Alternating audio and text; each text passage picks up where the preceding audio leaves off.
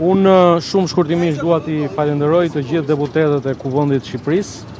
edhe ata që votuan pro, dhe ata që kundër, dhe ata që abstenuan. Në fund fundit jemi një republikë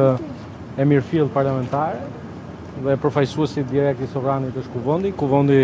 u shpreh përmes këtij votimi kaq domethënës,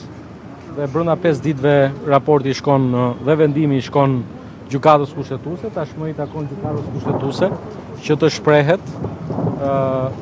për këtë vendim brenda një afati që është brenda 3 muajsh, natyrshëm është dhe muaji gusht në mes dhe sigurisht ndoshta Gjykata Kushtetuese do të kërkojë një muaj më shumë, por është në të mirë të cilësisë së procesit që Gjykata Kushtetuese të marrë kohën e duhur, por brenda këtij afati që është brenda traditës dhe rregullores, kur bëhet fjalë për një çështje kaq të rëndësishme, sikurse është shkarkimi i presidentit.